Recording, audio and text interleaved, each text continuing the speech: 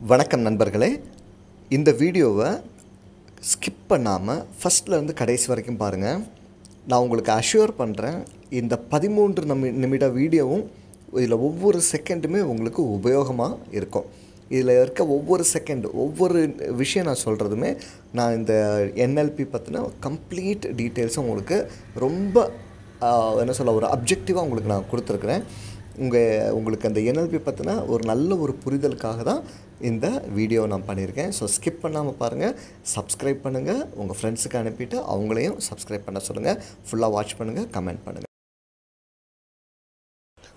நிறைய பேர் எங்கிட்ட என்எல்பி அதாவது நியூரோ லிங்குவிஸ்டிக் ப்ரோக்ராம் அப்படின்னா அது என்ன இது எப்படி வந்து ஒர்க் ஆகுது அப்படின்லாம் டவுட்ஸ் கேட்குறாங்க அப்போது இன்றைக்கி மார்க்கெட்டில் பார்க்கும்போது நிறைய ட்ரெயினர்ஸ் வந்து இந்த மாதிரியான என்எல்பி ப்ரோக்ராம்ஸ்லாம் வந்து கண்டக்ட் பண்ணிகிட்ருக்காங்க அப்போது இந்த ப்ரோக்ராம் என்னன்னு தெரியாமலே நிறைய பேர் அதில் போய் ஜாயின் பண்ணுறாங்க இப்போ என்ன ஆகுதுன்னா அந்த அப்ஜெக்டிவ் அவங்களுக்கு மீட் ஆக மாட்டேங்குது. இல்லை அப்படின்னா இன்னும் நிறைய ப்ரொஃபஷனல்ஸ்க்குமே அவங்களுக்கு இந்த என்எல்பியை எப்படி தங்களுடைய ப்ரோக்ராம்ஸில் வந்து கனெக்ட் பண்ணிக்கணும் அப்படிங்கிறது கூட ஒரு டவுட்டாக இருக்குது. நிறைய பேர் இந்த மாதிரியான ப்ரோக்ராம் போய் அட்டன் பண்ணுவாங்க. அட்டன் பண்ணிவிட்டு வந்ததுக்கப்புறம் அட்டன் பண்ணும்போது எல்லாம் புரிஞ்ச மாதிரி இருந்துச்சு. ஆனால் இது வந்து எங்கே நான் எப்படி அப்ளை பண்ணணும்? இது எப்படியெல்லாம் நம்மளுடைய நார்மல் லைஃப்பில் இது அப்ளை ஆகுது? இல்லை ஒரு ப்ரொஃபஷ்னல் செட்டப்பில் இது எப்படி நம்மளுக்கு வந்து சப்போர்ட் பண்ணுது? இப்படியெல்லாம் நம்மளுக்கு நிறைய கேள்விகள் இருக்குது. இன்றைக்கி இந்த வீடியோவில் உங்களுக்கு என்எல்பினா என்ன அப்படிங்கிறத ரொம்ப தெளிவாக சொல்லித்தரேன் இதில் முக்கியமான மொடாலிட்டிஸ் அதாவது என்னெல்லாம் ஒரு ஸ்ட்ராட்டஜிஸ் வந்து இதில் யூஸ் பண்ணுவாங்க அப்படிங்கிறதையும் ஒரு ஓவர் வியூ இன்றைக்கி இதில் பார்ப்போம்.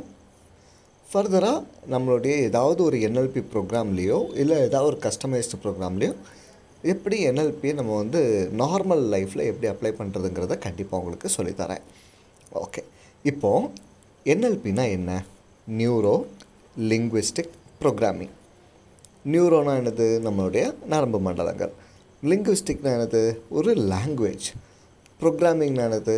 ஏதோ ஒன்று வந்து செட்டப் பண்ணுறோம் ஒரு ப்ரோக்ராம் பண்ணுறோம் அப்படி தானே இப்போது அப்போ நரம்பு மண்டலங்களில் இந்த மொழிகள் வழியாக இல்லை மொழி வாயிலாக அந்த மொழி வந்து உடல் மொழியாக இருக்கலாம் இல்லை பேசும் மொழியாக இருக்கலாம் எதுவாக வேணாலும் இருக்கலாம். இதன் வழியாக எப்படி வந்து சில விஷயங்களை நம்ம ப்ரோக்ராம் பண்ணுறோம் இப்படி ப்ரோக்ராம் பண்ணுறனால நம்மளுக்கு என்னெல்லாம் பெனிஃபிட் வருது அப்படிங்கிறத பார்ப்போம். அப்போ இதுதான் நியூரோ லிங்குவிஸ்டிக் ப்ரோக்ராம் என்னுடைய பார்வையில் இந்த நியூரோ லிங்குவிஸ்டிக் ப்ரோக்ராம் அப்படிங்கிறது வெளியே கொண்டு போய் நம்ம எடுத்து இதை செயல்படுத்துறதுக்கு முன்னாடி முதல்ல அதை நம்மளுக்கு செல்ஃபாக செஞ்சு நம்ம பழகணும். நிறைய பேர் நீங்கள் கேள்விப்பட்டிருப்பீங்க என்எல்பி ப்ராக்டிஷனர் இல்லை என்எல்பி மாஸ்டர் ப்ராக்டிஷனர் அப்படிலாம் சொல்லுவாங்க. அட்- அதுக்கு அர்த்தம் என்னென்னா அவங்க அந்த என்எல்பியை எவ்வளோ தூரம் அவங்களுக்குள்ளே ப்ராக்டிஸ் பண்ணி தங்களுடைய வாழ்க்கையில் அவங்க அந்த மாற்றத்தை பார்க்குறாங்க. இதெல்லாம் பார்த்ததுக்கு அப்புறமா அவங்க என்ன பண்ணுவாங்க? இதை சொல்லி கொடுக்கறதுக்கான ட்ரைனிங் எடுத்துகிட்டு அதுக்கப்புறமா அவங்க என்எல்பியோட ட்ரைனிங் கொடுப்பாங்க. இது பல விதமாக நம்ம வந்து பண்ணலாம். இது குழந்தைகள்லேருந்து பெரியவங்க வரைக்கும் ஏன் நிறைய இடத்துல இப்போ வந்து மெடிக்கல் ட்ரீட்மெண்ட்டில் தெரப்பியாஸ் கூட இதை வந்து யூஸ் பண்ணுறாங்க ஓகே அப்போ இன்றைக்கி இதில் என்னெல்லாம் விஷயங்கள் இருக்குது அப்படிங்கிறத இன்னொரு ரெண்டு மூணு நிமிஷத்தில் இதை ஒரு சுருக்கமாக பார்ப்போம். அப்போ இந்த என்எல்பி அப்படிங்கிறது இது ஒரு மெத்தட் எதுக்கு? பர்சனல் டெவலப்மெண்ட்டுக்கும் நம்ம கம்யூனிகேஷனை வந்து சரியாக யூஸ் பண்ணுறதுக்கும் இது என்ன பண்ணும்? இந்த என்எல்பி வழியாக கம்யூனிகேஷனை எப்படி மாற்றும் அப்படின்னா நெகட்டிவ் தாட் பேட்டர்ன்ஸை ஒரு சரியான அதாவது எதிர்மறையாக இருக்கிற அந்த பேட்டர்ன்ஸை நேர்மறையாக மாற்றுவதற்கு இந்த ப்ரோக்ராம் யூஸ் ஆகும். ஓகே அப்போ இதனால் என்ன ஆகுது? நம்மளுடைய எண்ணங்கள் வழியாக தான் வார்த்தை வருது இல்லையா? அப்போ எண்ணம் சரியானதான் வார்த்தை சரியாகி அது செயல் வடிவத்திலையும் சொல் வடிவத்திலையும் அது வெளியே வரும். அப்போ இதை மாற்றி நம்மளுடைய கம்யூனிகேஷனை பெட்டராக்கிறதுக்கு இதனால் இதனால ரிலேஷன்ஷிப்பை வந்து பெட்டராக்கிறதுக்கு நம்மளுடைய personal goal professional goal society goal இதெல்லாம் வந்து நம்ம ஈஸியாக நமக்கு அச்சீவ் பண்ண முடியும் அப்படின்னு சொல்கிறாங்க ஓகே இந்த என்எல்பியில் என்னெல்லாம் பண்ணுறாங்க என்ன மாதிரியான விஷயங்கள்லாம் நீங்கள் கேள்விப்படுவீங்க அப்படின்னா ப்ரீ சப்போசிஷன் அப்படின்னு சொல்லுவாங்க. சென்சரி அக்யூட்டி அப்படிம்பாங்க. ரெப்ரசன்டேஷனல் சிஸ்டம் அப்படிம்பாங்க. அப்புறம் சில சப் மொடாலிட்டிஸ் அதாவது இணையாக இல்லை இதர மெத்தட்ஸ் என்னெல்லாம் அப்படிங்கிறது. ஆங்கரிங் அப்படின்னு சொல்லுவாங்க. ரீஃப்ரேமிங் அப்படின்னு சொல்லுவாங்க. ஸ்ட்ராட்டஜிஸ் யூஸ் பண்ணுவாங்க. அப்புறம் லாங்குவேஜோட பேட்டர்ன் அப்புறம் எல்லாத்துக்கும் அப்புறம் பார்த்தீங்கன்னா ராப்போ எப்படி வந்து நம்ம மற்றவங்களோட எப்படி ராப்போ பில்ட் பண்ணுறோம் அப்படிங்கிற. இந்த மாதிரியான வார்த்தைகள் தான் மோஸ்ட்லி இந்த என்எல்பி ட்ரைனிங்கில் உங்களுக்கு கற்றுக் கொடுப்பாங்க. அப்போ பேசிக்காக இதை சில சில விஷயங்கள் மட்டும் இன்றைக்கி சொல்லிவிட்டு இந்த வீடியோவை நம்ம முடிச்சுக்குவோம். இந்த ப்ரீ சப்போசிஷன் அப்படின்னா என்னென்னா இதுதான் வந்து இந்த என்எல்பியினுடைய ஃபவுண்டேஷன் அடிக்கல்லே இதுதான். என்னென்னா அவங்களுக்குள்ளேயே அதாவது ஒரு தனி நபருக்குள்ளேயே எல்லா விதமான தேவையான ரிசோர்ஸுமே அவங்களுக்குள்ள இருக்கும். எதுக்கு? அவங்களோட கோல்ஸ் அச்சீவ் பண்ணுறதுக்கு இல்லைங்களா? அந்த கோலை அச்சீவ் பண்ணுறதுக்கு அவங்களுக்குள்ளே இருக்கிற அந்த ரிசோர்ஸஸை எப்படி அதை அவங்கள யூஸ் பண்ண வைக்கிறது? அவங்களுடைய பர்ஸ்பெக்டிவ் வந்து எப்படி வேலிடாக இருக்குது? இதனால் தங்களுடைய பிஹேவியரை எப்படி மாற்றி தங்களுக்குள்ளே இருக்கிற அந்த திறனை யூஸ் பண்ணி அந்த கோல்ஸை அச்சீவ் பண்ண வைக்கிறது. இது வந்து இந்த ப்ரீசப்போசிஷனில் பார்ப்போம். நண்பர்களே நான் இப்போ சொல்கிறது எல்லாமே ரொம்ப ஓவர்வியூவான ஐடியாஸ் மட்டும்தான்.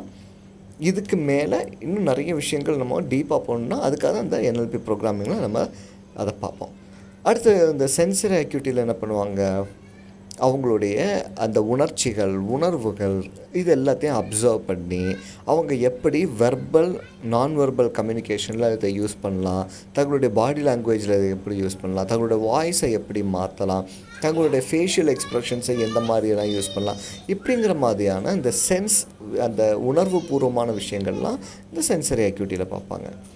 இந்த ரெப்ரசன்டேஷனல் சிஸ்டத்தில் தங்களுடைய விஷுவல் ஆடிட்டரி கினஸ்தட்டிக் அப்படின்னு சொல்லுவாங்க. அதாவது பார்க்கும் திறன் கேட்கும் திறன் மற்றும் உடல் அசைவுகளால் இல்லை நம்மளுடைய டச் ஃபீலிங்னால் ஏற்படுற விஷயங்களை யூஸ் பண்ணி எப்படி இந்த கம்யூனிகேஷன் பண்ணுறோம் எஃபெக்டிவாக இதை வச்சு எப்படி பண்ண முடியும் அப்படிங்கிறத இதில் பார்ப்பாங்க.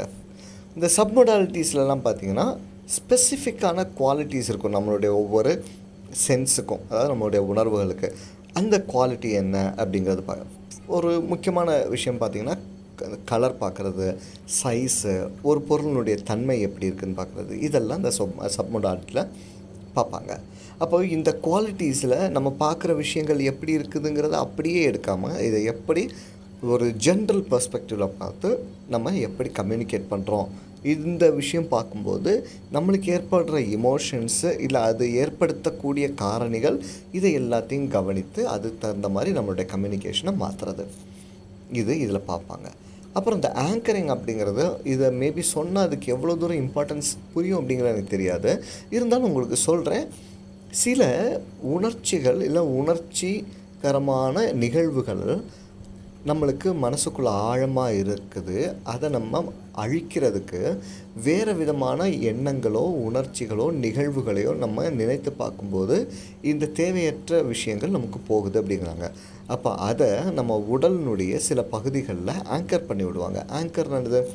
இப்போது கப்பலில் வந்து ந நங்கூரம் போடுவாங்க. இதுக்கு நிப்பாட்டி விடுறதுக்கு. அதே மாதிரி இந்த நல்ல எண்ணங்களை நல்ல நிகழ்வுகளை நம்மளுடைய உடலினுடைய ஏதாவது ஒரு பகுதியில் அதாவது சென்ஸ் வழியாக டச் வழியாக அதை பண்ணி அதை ஆங்கர் பண்ணி வைப்பாங்க. அப்போது மறுபடி எப்போ நம்மளுக்கு அதை பண்ணணுமோ இல்லை எப்போ அந்த நல்ல நிகழ்வுகள் எண்ணி பார்க்கணுமோ அப்போ அந்த இடத்த மறுபடியும் டச் பண்ணும்போது நம்மளுக்கு அந்த நிகழ்வுகள் வரும்.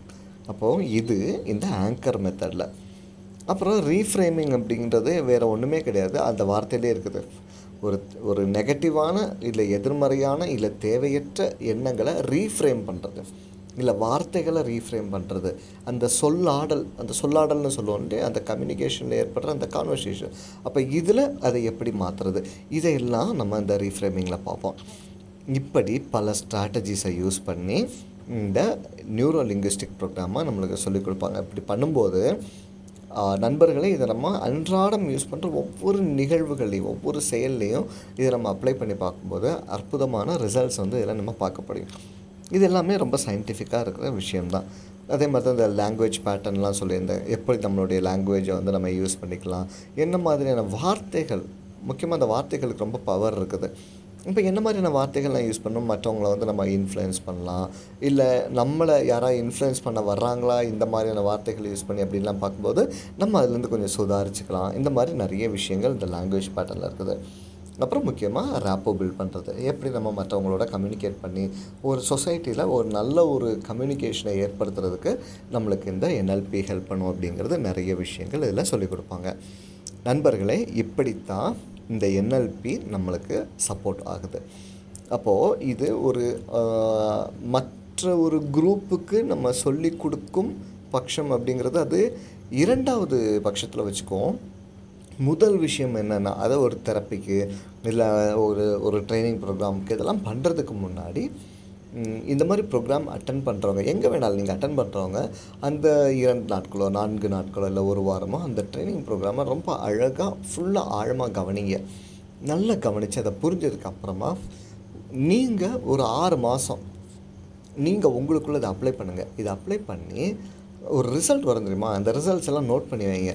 இதெல்லாம் தான் உங்களுக்கு இந்த ப்ரோக்ராம்னால கிடைச்ச ரிசல்ட்ஸ் அப்படிங்கிற நோட் பண்ணிவிட்டு இதை பற்றி மற்றவர்கள்ட்ட பேச பாருங்கள் அப்போது நல்ல விஷயங்கள் நிறைய பேருக்கு சொல்லிக் கொடுக்கும்போது என்னாகும்? அவங்களோட லைஃப்லேயும் அது மாறுறதுக்கு நிறைய வாய்ப்பு இருக்கும். அதுக்கப்புறமா ஒரு ப்ரொஃபஷனில் இதை யூஸ் பண்ணி பாருங்கள் எல்லாமே நமக்கு வந்து இங்கே ட்ரையல் அண்ட் எரர் மாதிரி தான் நம்ம ஒன்று செஞ்சு பார்க்குறது தானே. அதே மாதிரி இதில் எதுவும் சைடு எஃபெக்ட் இல்லை. அப்படிங்கும்போது நீங்கள் இதை செஞ்சு பார்த்து அதனுடைய ரிசல்ட்டை கண்டிப்பாக பார்க்கலாம். ஸோ இந்த வீடியோ கொஞ்சம் லெங்க்த்தாக தான் இருக்குது. இல்லைன்னு நான் சொல்லலை. ஆனால் கண்டிப்பாக இந்த வீடியோவை ஃபஸ்ட்லேருந்து கடைசி வரைக்கும் நீங்கள் பார்த்துருக்கீங்க அப்படின்னா இந்த என்எல்பி பற்றி ஒரு தெளிவான ஒரு புரிதல் உங்களுக்கு இருக்கும் அப்படின்னு நம்புகிறேன் இதில் உங்களுக்கும் வேறு ஏதாவது கருத்துக்கள் இருக்குது அப்படின்னா கமெண்ட்டில் சொல்லுங்கள் கண்டிப்பாக உங்களோட கருத்துக்களையும் நான் வந்து தெரிஞ்சுக்கிறேன். லேர்னிங் தானே? என்எல்பியை பொறுத்த வரைக்கும் ஒரு ஸ்ட்ரக்சரில் முடித்தது கிடையாது. அதில் அப் அப் டு டேட் நம்ம ஒவ்வொரு நாளும் நிறைய விஷயங்களை கற்றுக்கிட்டு கற்றுக்கிட்டு புது புது வார்த்தைகளை ரீஃப்ரேம் பண்ணுறது புது புது எண்ணங்களை ரீஃப்ரேம் பண்ணுறது புது புது மனிதர்களை பார்க்குறது ஒவ்வொரு நிகழ்வுகளும் புதுசாக இருக்குது. எல்லாத்தையும் நம்ம ரீஃப்ரேம் பண்ணி ரீப்ரோக்ராம் பண்ண முடியும். அப்போது உங்கள் இருந்தும் நான் கற்றுக்கிறதுக்கு ஆவலாக இருக்கிறேன். இதை பார்த்துட்ருக்கவங்க என்எல்பி எக்ஸ்பர்ட்டாக இருக்கீங்க அப்படின்னா ப்ளீஸ் உங்களோட வியூஸை ஷேர் பண்ணுங்கள் இந்த வீடியோ உங்களுக்கு ரொம்ப பிடிச்சிருக்குது அப்படின்னா கண்டிப்பாக உங்களுடைய நண்பர்கள் வட்டாரத்துலேயே இதை நீங்கள் ஷேர் பண்ணுங்கள் உங்களுக்கு இதை பற்றின ஒரு பேசிக்கான ஒரு பிபிடி வேணும் அப்படின்னா நீங்கள் எனக்கு மெயில் பண்ணுங்கள் உங்களுக்கு நான் வந்து கீழே மெயில் ஐடி கொடுக்குறேன். இந்த டிஸ்கிரிப்ஷன் பாக்ஸில் எனக்கு மெயில் பண்ணுங்கள் உங்களுக்கு இதை பற்றின பேசிக்கான பிபிடி உங்களுக்கு அனுப்புகிறேன் இப்போ நான் சொன்ன விஷயங்கள் ஆங்கிலத்தில் உங்களுக்கு அது தெளிவாக இருக்கும். ரொம்ப ஈஸியான வேர்ட்ஸ் போட்டு உங்களுக்கு பண்ணி கொடுக்குறேன். நல்ல விஷயங்களை நிறைய பேருக்கு சொல்லிக் கொடுக்குறதுல நான் ரொம்ப சந்தோஷமாக இருக்கேன். நண்பர்களே உங்கள் எல்லாருக்கும் நல்ல விஷயங்கள் வந்து சேரணுன்னு தான் இந்த மாதிரியான ஒவ்வொரு கருத்துக்கள் நான் போட்டுட்ருக்கிறேன். இந்த சேனல் சப்ஸ்கிரைப் பண்ணல அப்படின்னா கண்டிப்பாக சப்ஸ்கிரைப் பண்ணுங்கள் அவங்க ஃப்ரெண்ட்ஸுக்கு அனுப்புங்க. அவங்கக்கிட்டே சப்ஸ்கிரைப் பண்ண சொல்லுங்கள் இன்னும் நிறைய நல்ல நல்ல வீடியோஸ் உங்களுக்கு கண்டிப்பாக கொடுத்துட்ருப்பேன். அதுக்கு நான் உங்களை அஷ்யூர் பண்ணுறேன் தேங்க்யூ ஸோ மச் எல்லோரும் சந்தோஷமாக இருப்போம். நல்ல நல்ல நிகழ்வுகள் உங்கள் வாழ்க்கையில் எப்போதும் நடக்கட்டும். நன்றி. வணக்கம்.